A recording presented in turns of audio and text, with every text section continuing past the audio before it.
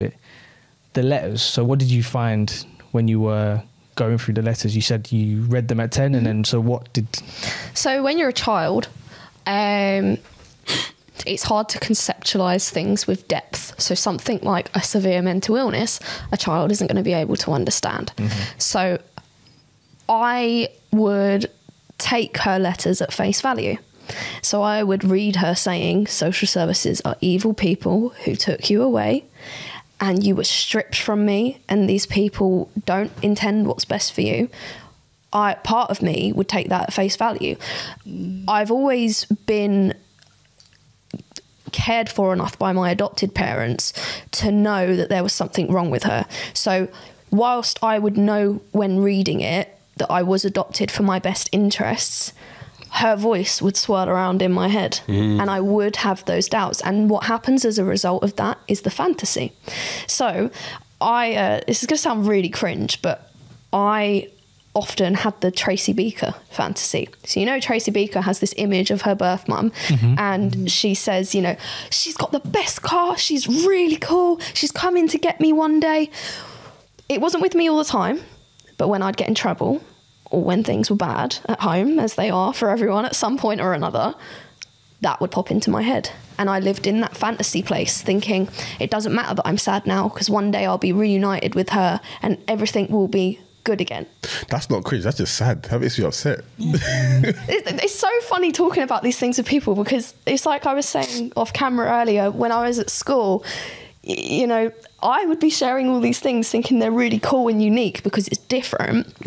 But that's because when you're a child, there's a bit of a disconnect to understand that all of this stuff is you. Yeah. So you mentioned the life story book. I'd never got one of those. I didn't get one till I was 16. There were a lot of faults in my adoption by social services. Things weren't carried out particularly well, and there were occasions of leaks, um, which is another story. But you know, I, I I- I'm so open about these things, and that's what is my sort of saving grace in all of this is that I do know everything and I have been given enough in, information that as I've got older I've been able to conceptualize it.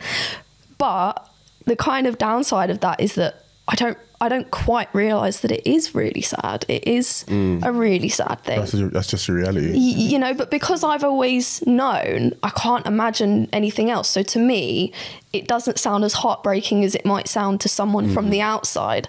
Um, but don't get me wrong you know that's a that's a journey. That's a journey to conceptualize that that happened to me and that it's not just some story and that it's my real life. But what you say about the um, the letters I do regret reading them as young as I did. But I do think it was necessary for me to have read them and not waited till I was 18 Why? because it's a connection. It's that filling the void in a way. Because when you are removed, there is a void. Like we mentioned, the, the body knows. And whether you know you're adopted or not, there will be a void and there will be trouble with attachment. Um, you know, it depends on the case, but only talking from personal experience. I was obviously taken from my birth mother, then I was placed into foster care. So already one at- one attachment's broken. I formed another. I was in foster care for probably uh, a minimum of six months. Sorry, can I ask how many foster carers you had? Just one. Oh, okay, that's really. And it was a lady. Her name's Linda. If you're seeing this, Linda, hello.